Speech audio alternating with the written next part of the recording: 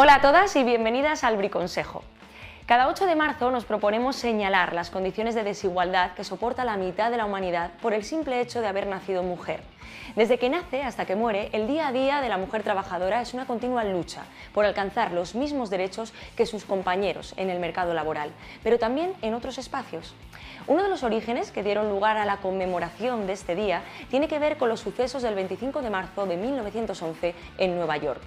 Las mujeres trabajadoras, la mayoría de origen inmigrante de la empresa Triangle Shirtwaist, se habían declarado en huelga durante varias jornadas para denunciar sus pésimas condiciones laborales.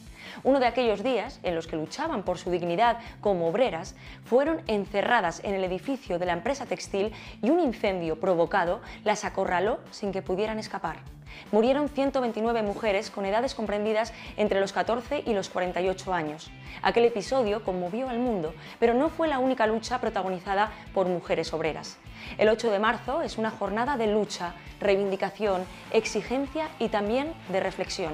Y de reflexión para nosotras, las anarcosindicalistas, sobre todo cuando asistimos últimamente a actos y eventos organizados por las de nuestra clase social y donde obvian la palabra trabajadora, un concepto inseparable de la idea que deberíamos tener sobre el 8 de marzo.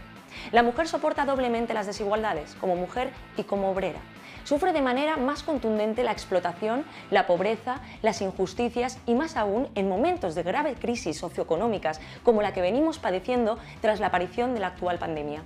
¿Cómo dudar de que la clave de esta desigualdad nos viene dada desde la cuna? ¿Acaso son las mismas condiciones las de una mujer migrante que tiene que sobrevivir precariamente que las de Patricia Botín o cualquier política burguesa?